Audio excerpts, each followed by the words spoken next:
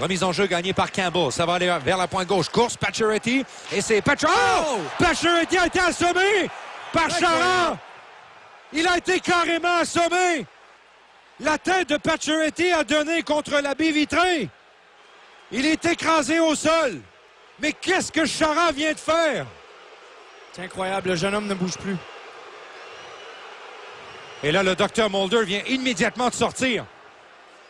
Ça fait peur, Martin. Max Pacioretty ne, bouge, plus.